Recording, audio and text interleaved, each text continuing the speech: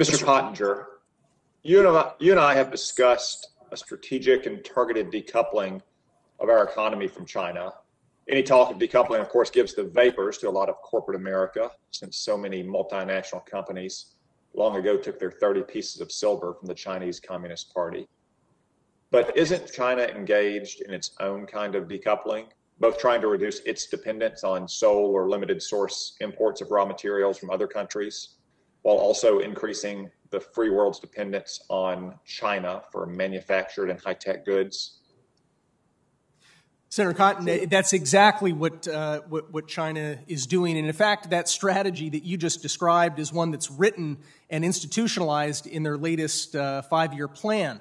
Uh, and I'll give you an example of it in, in action. If you look at what China is doing to Australia right now, Australia had the temerity to uh, suggest to the World Health Organization that the world try to find out the origins of this uh, virus that has now killed 4 million of our fellow souls and, and wrought catastrophe on the world economy. China, to punish Australia for suggesting that there should be an investigation, decided to use its leverage as a major market for uh, Australian exports. About 30% of Australia's exports go to China. It decided to start cutting off Australia's exports, uh, exports of coal, uh, barley, beef, wine.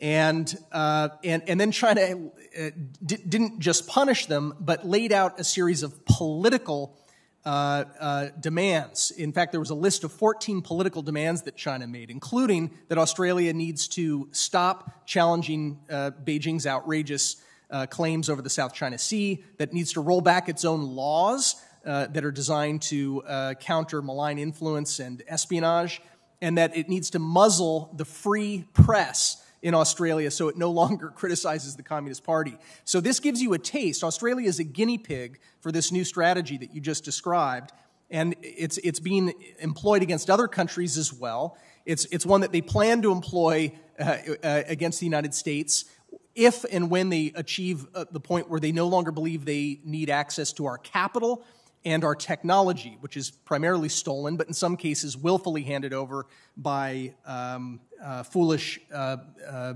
uh business leaders who, who uh, have the fantasy that it's somehow going to get them access to the China market. Uh, so the, that's, that's my view on that, Senator. Thank you. Um, so China is engaged in this kind of strategic decoupling from the American economy and really from the free world's economy.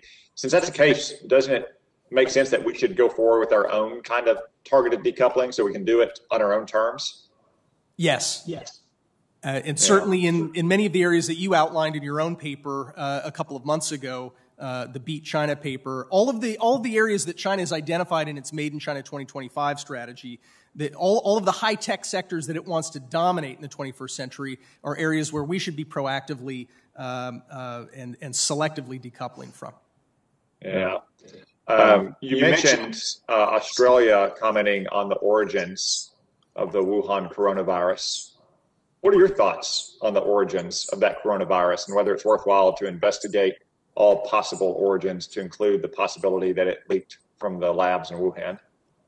Well, I, I think that the preponderance of, of circumstantial evidence, and it's important to note that it is still cir- circumstantial evidence, weighs in favor of the hypothesis that this uh, was an accidental leak from a laboratory and not a natural zoonotic uh, event.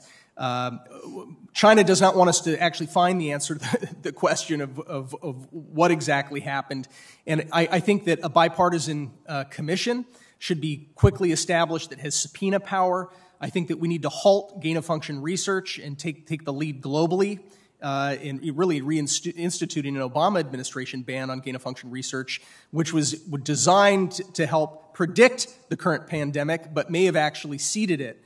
Uh, and I, I, think one other area would be to start building a, uh, a surveillance network um, for, um, you know, the, the, technology is there, and, and with a little more effort, uh, could be quite powerful at detecting um, uh, uh, pathogenic disease uh, in, in, through, a, through a global um, surveillance network. Yeah, I agree with you that all the evidence points towards the labs, and I mean all the evidence. There's not a single piece of evidence that points towards that stupid food market the Chinese Communist Party used as a cover story. Uh, but I also agree with you that China doesn't want us to discover it, so I'm very uh, skeptical that we'll ever get direct evidence of the origin in the labs. But we can make reasonable inferences based on what we know in common sense, as you have, Mr. Pottinger, uh, that this virus originated in those labs and China needs to face grave consequences for unleashing this plague on the world. Thank you. Uh, Thank you, Senator Cotton. Let me recognize Senator Blumenthal, please. Thank you, thank you, Mr. Chairman, and thank you